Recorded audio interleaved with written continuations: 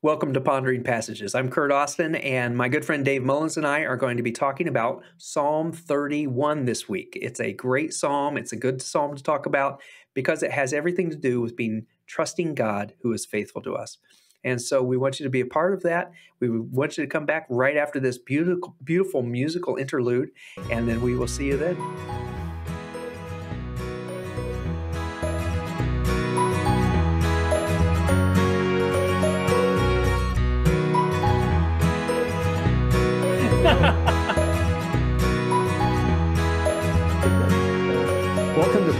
Passages. Today, my good friend Curt Austin and I are going to be pondering Psalm 31. Uh, so 31. glad that, yes, so glad 31. that you uh, decided to stick around after the musical interlude to uh, join us. And this is a long psalm, so we're going to have to jump right in. Let's jump right in, Dave. Let's start with the uh, title slide here Psalm 31 for the choir director, a psalm of David. Uh, pretty simple. I'll take that one. You get the next one. You know, I, uh, I, I wonder for the choir director. I wonder if some of these choir directors get the psalm. They're like, "What am I supposed to do with this?" like, oh, great! Another psalm from David. I am so sick of these. Verses one through five say, "Oh Lord, I have come to you for protection. Don't let me be disgraced. Save me." for you do what is right. Turn your ear to listen to me. Rescue me quickly. Be my rock of protection, a fortress where I will be uh, safe. You are my rock and my fortress. For the honor of your name, lead me out of this danger. Pull me from the trap my enemies have set for me, for I find my protection in you alone. I entrust my spirit into your hand. Rescue me, Lord, for you are a faithful God. There you go. Yes. Uh, I'm thinking, can we can we do the next three verses too as well? Absolutely. We we always can do that. Verses yeah. Um, six through eight say, "I hate those who worship worthless idols. I trust in the Lord. I will be glad and rejoice in your unfailing love, for you have seen my troubles, and you care about the anguish of my soul. You have not handed me over to my enemies, but have set me in a safe place." Very nice. Yeah, and and it seems there's a there's a, a very uh, obvious break between eight and nine. In fact, uh, so much so that some folks uh, or some scholars think that maybe at one point it was two different psalms that they've brought together. Um, but you know, quite a few scholars don't believe that that's the case. But anyway, I thought we read through, you know, verse 8 then i feel strongly both ways you do I, oh. I, I i really did like this psalm this week because it uh i it felt almost bipolar in okay. some situations where at one moment he is all about god's protection and safety and how thankful i am and then the next minute he's a train wreck emotional train wreck of you know the world's out to get me i can't believe it and then he turns right back around goes and, and it's never like a but god is right faithful. yeah it's always uh you know it's just like i i also thought it was really interesting uh verse uh second part of verse two and then the verse first part of verse three be my rock of protection my fortress you are my rock and my fortress you know i, I thought that was it was written very interestingly in several places like that yeah. Yeah. And, uh, you know, the, the, those scholars that really know Hebrew poetry, they're able to really glean a lot of, uh, just a, a lot of meaning out of some of that.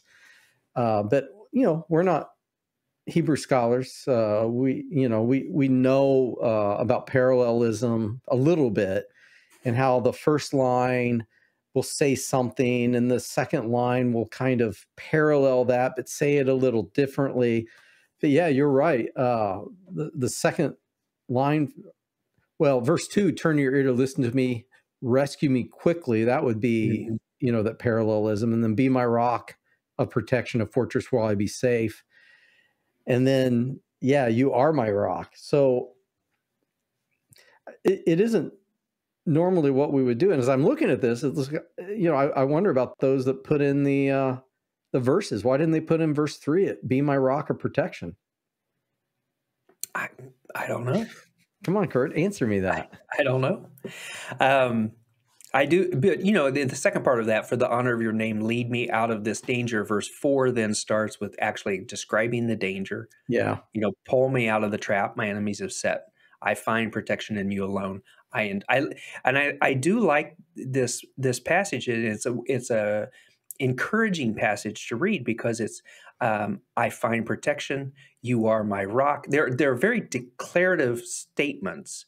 You know, I entrust my spirit in your hand um, you are a faithful God. I mean, they're just really nice, solid statements that you can kind of hang your hat on, hang your your your own hat. Uh, if I say hat again, does that make it more meaningful? It does. Um, no repetition. You know, and now he he does as he's as he's reading writing this, talking about those uh, bad situations. So the trap, the worthless idols that people worship. Um, you it, have seen it, my trouble. It, it, you know, there's times when it's almost like I feel like he's trying to build a case on why God should protect him. You know, if, if you go back, uh, you know, a, a screen to, to verse, uh, what is it? You know, where he says, "Be my rock of protection." I mean, mm-hmm. that's a request, but then he goes, "Well, you are my rock and my fortress mm-hmm. for the honor of your name." And then he has this request to pull me from the trap. And he goes, You know, I entrust my spirit into your hand, rescue me. Again, there's yeah. a request.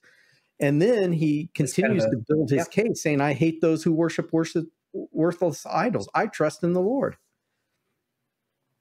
Yeah, it's it's not a it's not a deeply complex psalm. It's no. it's not really dealing with these terrible uh, I, or these lofty ideas that are too hard to get a hold of. Right. It's it's it really shoots straight. It's right there, and it really is as I as I read it every and I I've been I've been so proud of myself. I've been able to read almost every day this week. I missed one day. That is um, great. Um, it, it's it's been nice. It's been nice. It's yeah. been a it's, uh, good. Um, but it's it's a psalm that really does encourage. Yes. Well, me and, and and it kind of is helpful that he does. I mean, it's I don't want to say he's he's waffling, but he he does kind of go back and forth between mm-hmm. you know, mm-hmm. uh, God, I entrust you my spirit with my spirit, but then he's I I don't know. Is it safe to say that it, it seems like he might not be sure that that God's going to come through for him in some some respects? Let's keep reading to see. Well, see, and then things uh, kind of switch and change. Uh, Verse 9 uh, Have mercy on me, Lord, for I am in distress. Tears blur my eyes. My body and my soul are withering away. I am dying from grief. My years are shortened by sadness. I that that verse right there. Oh yeah. Verse 10. Yeah. Sin has drained my strength. I'm wasting away from within. I am scorned by all my enemies and despised by my neighbors. Even my friends are afraid to come near me. When they see me on the street, they run the other way. what, what a description. I am ignored as if I were dead, as if I were a broken pot. I have heard I have heard the many rumors about me and I am surrounded by terror. My enemies conspire against me, plotting to take my life.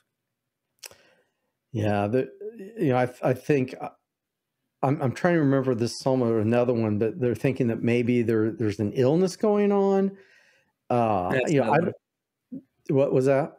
It's another, one. another one. Yeah.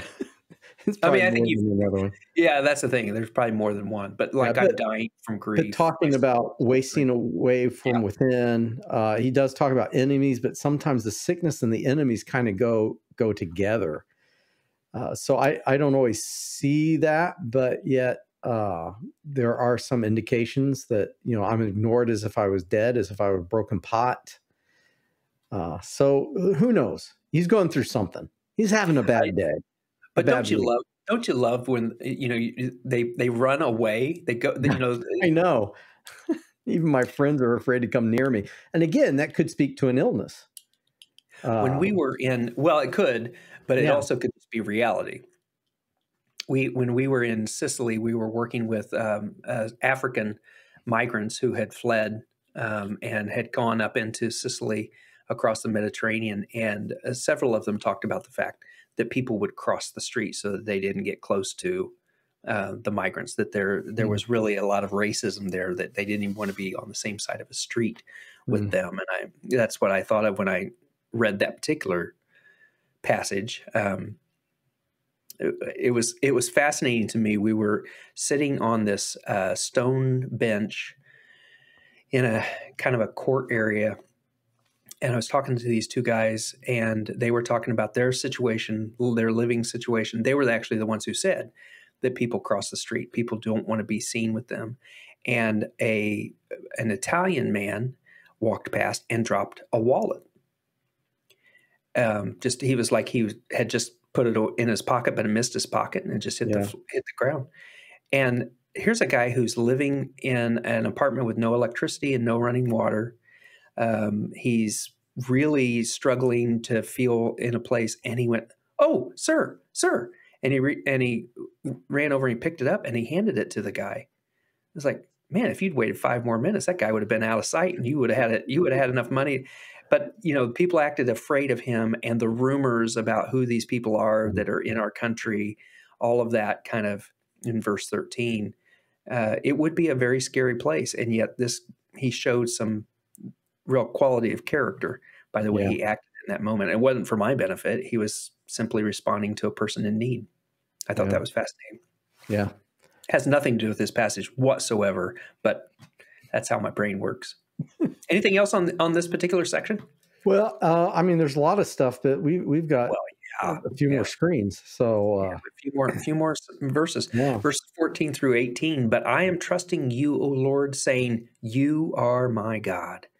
My future is in your hands. Rescue me from those who hunt me down relentlessly. Let your favor shine on your servant. In your unfailing love, rescue me. Don't let me be disgraced, O Lord, for I call out to you for help. Let the wicked be disgraced. Let them lie silent in the grave. Silence their lying lips, those proud and arrogant lips that accuse the godly. What do you think? yeah. Uh, I, you know, I always pause when I see a line like uh, "those proud and arrogant lips that accuse the godly," you know, because the psalmist is putting himself in in the godly category, and I think uh, sometimes you know we we might have difficulty putting ourselves in in that category. And i wonder if it's because uh you know the psalmist when he was writing that he actually was godly you know that they they were a little bit more serious about their commitment their relationship with god than what we are in 21st century uh, western culture. Uh you know the the line that kind of jumps out with me is verse 15 my future is in your hands. And Nice. it's I, I don't know that we i mean we might say that but i don't know that we believe that uh, because we have so many resources at our as our disposal Mhm. uh, so many uh, you know uh, nets to catch us. And in his culture there were probably uh, in his time there were a lot there there weren't nearly as many. And so if your family was rejecting you if your friends were rejecting you if your neighbors were despising you uh, you really had no safety net at all. And so to say the future is in your hands uh, was probably completely completely accurate and so you know the second part of verse 15 you know rescue me from those who hunt me down relentlessly because he knows that if god doesn't do it he is he is literally helpless Yeah.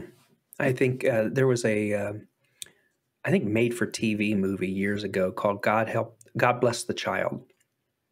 If you ever get a chance to watch it, um, get out your box of tissues, sit down, and uh, it's it is a tearjerker. Not not like a Hallmark made for TV kind of a movie. I mean, it's really it was really well done, but it's um, somebody who doesn't have a lot of safety nets Mm, you know and and so i think you and i especially are able to look at it from a certain perspective that someone else may not be able to look at right and this this particular passage may uh, being able to say you are my god my future is in your hands may be kind of tricky sometimes yeah so this this particular passage may not resonate uh, on that side of it because, uh, but maybe maybe even more so because there Yeah. are fewer nets. Although I would say our sense that we have safety nets is, in fact, Yeah, not accurate. yeah, yeah. Our future really is in the hands of God.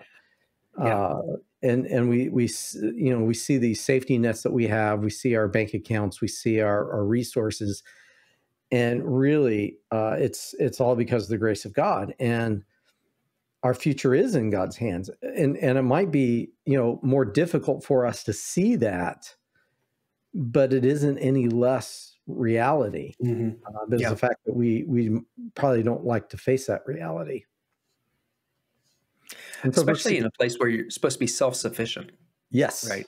yes, uh, bootstraps and independent. all of that. Yeah. Yeah. yeah, And so his prayer is, uh, "Let your favor shine on your servant."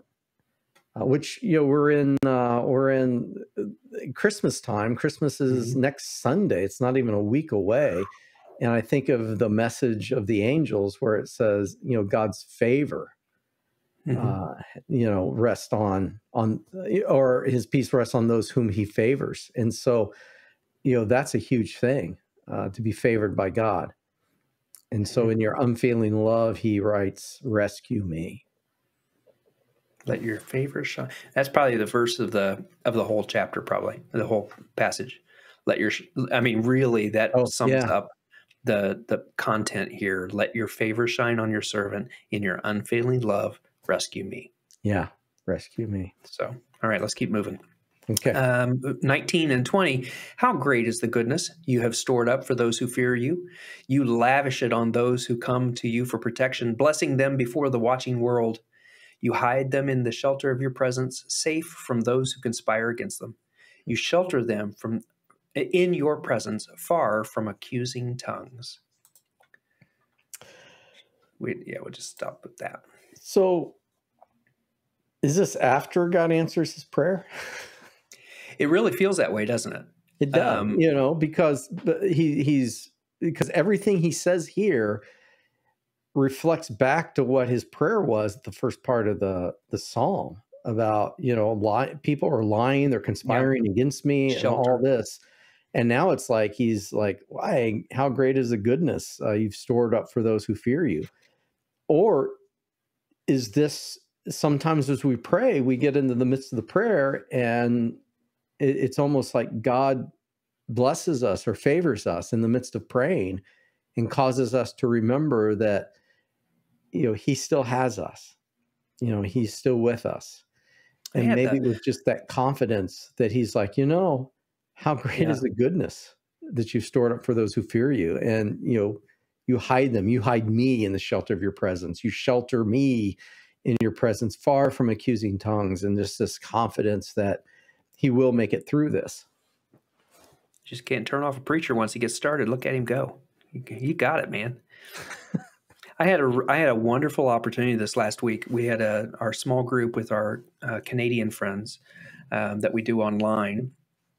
Wonderful evening. It just a just a, a real blessing. And then we got to get together with our our local small group that we've met with now for six years, um, and just just a you know Christmas dinner uh, on Saturday night. And in both situations, um, I was just reminded of the blessing that they are to our lives. And I had this a real sense of how great is the goodness of God that He has poured out, that you've lavished on those uh, in this group. Now, you know, some people have just lost a family member, or they're struggling with the kids that are in certain situations, or their, their marriage is, is rife. But God has been present in ways that we just can't even begin. You know, He's He's sheltered them even in the midst of the rough times. Um, he's been present, and it just was a constant reminder. I think that's the importance of staying connected. You know, what if you're if you're joining this, or you're listening to this, watching this, that's great.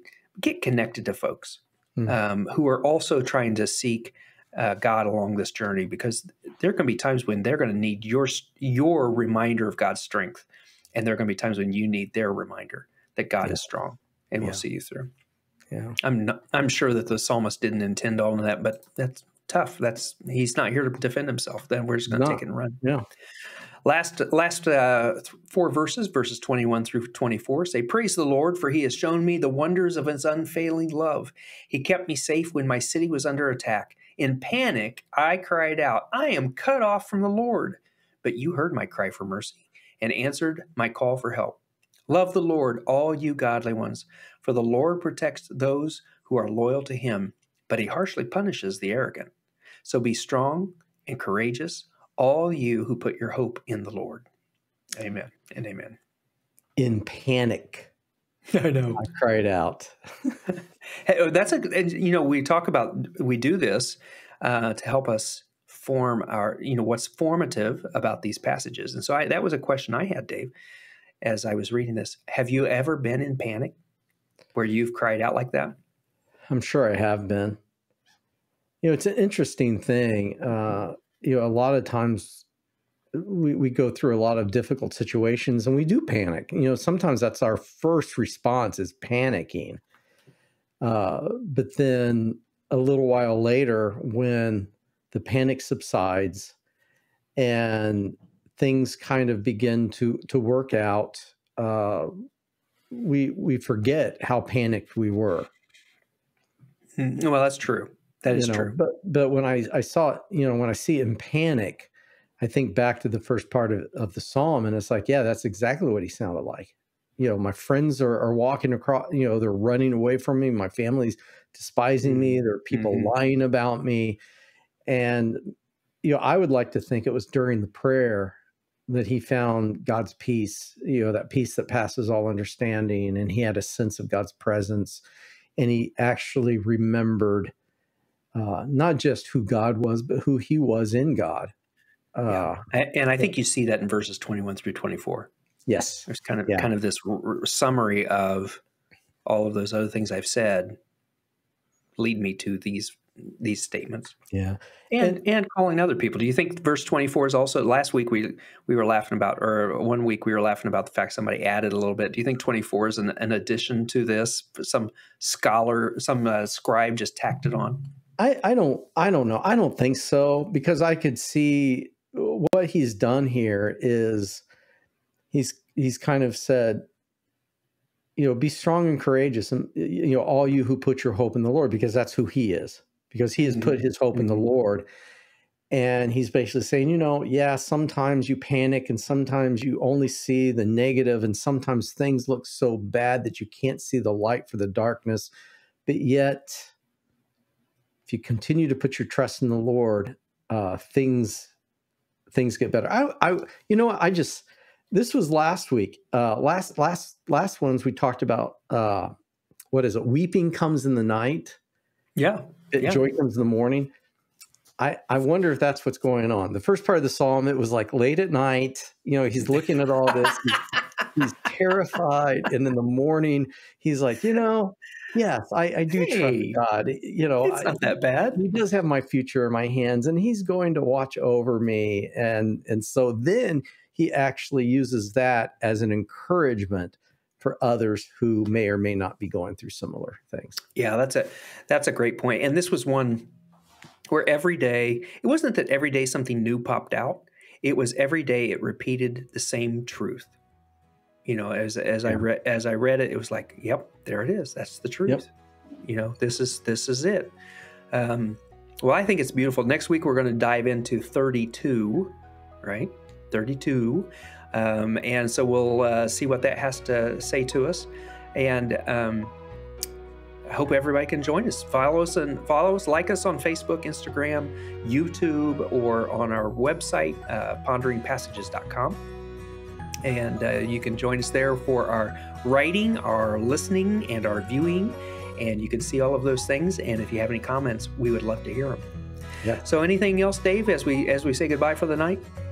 i, I think it's time I think it's time. So we will see you back here next week, and uh, we look forward to it. We'll talk to you then.